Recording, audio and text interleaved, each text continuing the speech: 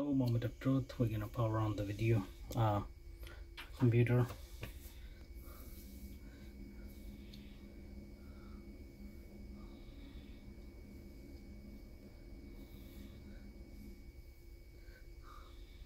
What happened here?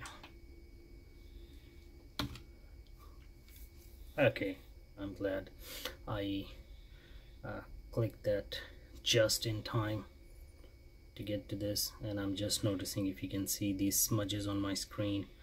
Uh, this is what happens when you give your main computer to your son uh, for the this nightmare. Uh, he is homeschooling and all this. So he's using this for the time being because in my home office is stuck his PC and I just can't have enough time to move them around I'm just waiting for some things here. But uh, let's find if I have the uh, memory in here and I have the uh, new one terabyte luckily if I show you on this side that's date and time and I notice when it logged in. Now it says 49152 MB so it's around 48 uh, GB right? So looks good. So let's click on peripherals and do I have my NVMe configuration is for that. So chipset. And I think I see it right here you can see it says Samsung SSD 860 EVO 1 terabyte so it showed up on my system. Nice and easy 1000 GB so and it, it it actually tells you what port you are on. So on zero and so if I can exit so that's how it shows you. So BIOS is good. Let's uh, boot into the computer and verify that. Let's pause the video here or not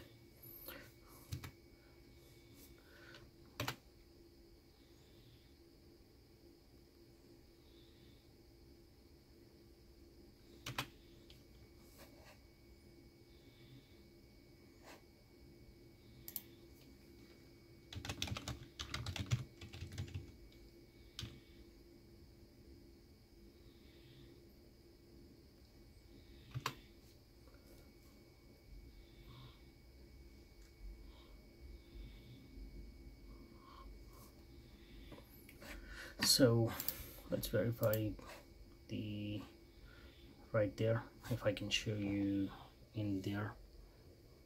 Oh what happened there?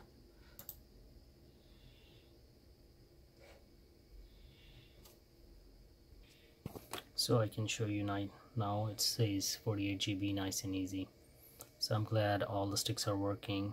Uh, there's no defect on arrival you know when you it's really frustrating you have to send it back get go through the RMA process and all that. So I'm happy. 48 GB should be good. Now let's get to the uh, I so here's what most people make mistake and I did the same.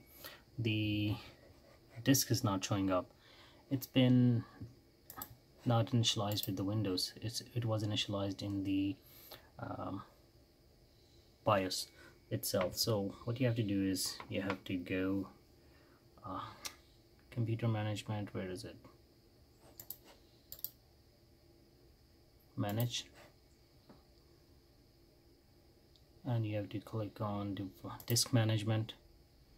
And it will be it says it this initializing disk disk 1 GPT or MBR how do you want to do it? And you know you can select either one. Uh, and you can see it's right there 931 GB available. That's the uh, disk my disk. And uh, uh, that I just installed the SSD and it's unallocated so I can click on new simple volume and just go. I'm gonna get I like to give the whole I don't make any partitions. They are too small one terabyte nowadays. Back in the day when my first hard disk was 20 GB and I had four partition in it in it. So so they're saying give it F and frac yes. So format the I'm not gonna perform a quick format. I'm I'm like to use this for a long time so I'm gonna give it this one. Let uh, it have it take its time it's gonna take a little bit of time I'm gonna pause the video here. But once it's done this will be my new SSD uh, for storing all the virtual machines and the uh, hopefully some programs that uh, I install. Thank you for watching this video. This is gonna take this time so I'm gonna probably either pause or end the video here. And I will see you in the next one. So I'm gonna quickly show you something here uh, I paused the video here. You can see that it's very slow formatting. So what's happening is with quick format it simply just quickly go over it bring the, the device to you and you're happy. But uh, what, what's happening in the background is that it's not checking for any uh, bad sectors like bad places. Um, it, ju it just give you the drive like that with this process where it takes longer it's checking the whole drive sector by sector marking all the bad sector. So the windows or the nodes where not to put in data so there is a very less chance of you corrupting your uh, data in the future. So always do this. You can see how slow it is. It's gonna take time. I'm gonna end this video here now but I want to I wanted to mention if you are planning on using that drive for long. Always do the slow formatting that where it takes time. Yes I know it takes time but uh, in the long run you will not have any problems. So quick format is not a good. It's just when you quickly want to be done and install the operating system and all that. But I can have this one take its time. If this video has helped you please rate comment subscribe and share and I see you in the next one